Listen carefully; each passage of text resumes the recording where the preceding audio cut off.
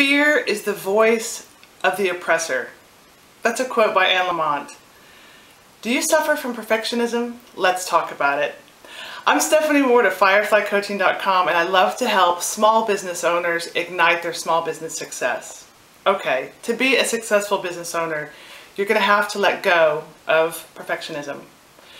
I know you're doing it because you want to do a great job and you think it will be the launch for your success, the key to your success if you make everything perfect, but it's just not realistic. It's painful, it's not going to happen, and it's not attractive actually because people are looking to connect with people who are humans, and as humans, we're all imperfect, we're all flawed, we're all humans. So please make the decision to let go of the perfectionism and realize that the work you create is good and get it out there. Ship it, as Seth Godin says.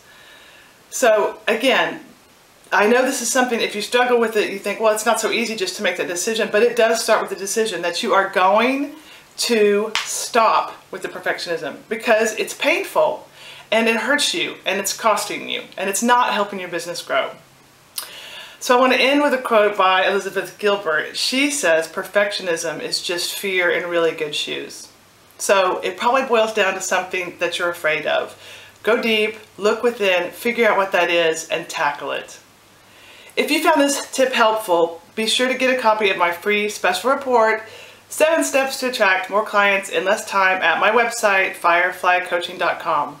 And I'd love to hear about your struggle with perfectionism and how you overcame it or what you did to move past it. Leave your comments below and respond to every single comment. See you next time.